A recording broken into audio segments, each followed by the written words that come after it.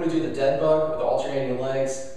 This is a really great exercise if we're in that swayed back, too much arch in our back here. It's gonna teach us how to flatten out our stomach, take that pressure off, uh, have really strong stomach muscles, strong ab muscles, and again, keep that pressure off that back. What we're gonna wanna do is lie on the ground with our hands and feet in the air. We wanna keep our lumbar as flat to that ground as possible. Take a deep breath in through our nose, extend this leg till the heel touches, then exhale fully.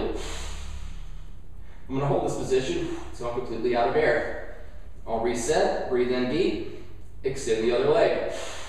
Hold, so you're completely out of air. Biggest mistakes are one, not keeping that lumbar flat to the floor, and two, not breathing properly.